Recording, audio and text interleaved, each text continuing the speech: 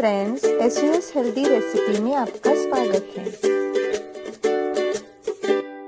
आज मैं बताऊँगी कैसे आप बहुत ही आसानी से काले चने की सूखी सब्ज़ी बना सकते हैं। काले चने में प्रोटीन और फाइबर की मात्रा बहुत होती है। इसे घर पे ज़रूर ट्राई करें।